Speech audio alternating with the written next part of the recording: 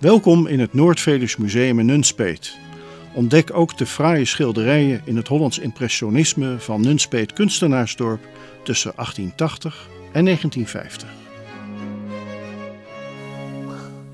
Hallo, uh, mijn naam is Wim Bakker en ik ben vrijwilliger in het Noord-Veluws Museum. Ik geef daar ook rondleidingen. Uh, ik ben blij dat u uh, mij aangeklikt heeft, want ik wil u iets vertellen over Jan van Vuren. Jan van Vuren wordt gezien als uh, ja, een van de meest bekende Nunspeetse schilders. Eigenlijk kwam hij hier niet vandaan. Hij kwam uit Alblasserwaard, maar op jonge leeftijd kwam hij erachter, het, kwam hem, werd hem verteld, je moet eens een keer op de Veluwe kijken. Dus tijdens zijn opleiding op de academie in Den Haag trok hij hier regelmatig naartoe en hij werd gegrepen door de schoonheid van de Veluwe. Wat maakte die van Vuren nou zo, zo, zo goed? De andere schilders waren jaloers op hem. Jan, hoe doe je dat? Hoe krijg je die ruimte, hoe krijg je die diepte in je werk? Uh, Jan die was academisch opgeleid en die trok het hele register open.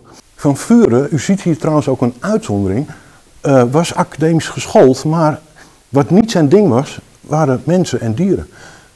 Als je de schilderijen van, van Vuren bekijkt, en we hadden er een aantal jaren geleden hier 320, is het opvallend dat op de Veluwe eigenlijk nooit iemand woont en het is altijd mooi weer. Dus kom met z'n allen naar Nunspeet. Van Vuren verzinkt vaak de helft.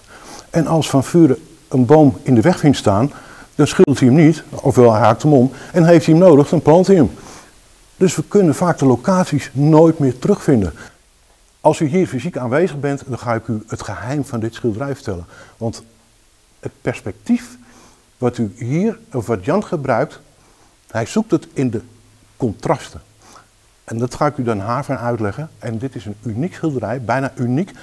Op deze wijze wordt dat door Van Vuren bewerkstelligd. Ik zou zeggen, hartelijk dank voor uw aandacht. En ik hoop dat ik u eh, hier fysiek mag ontmoeten. En zeker bij Jan van Vuren.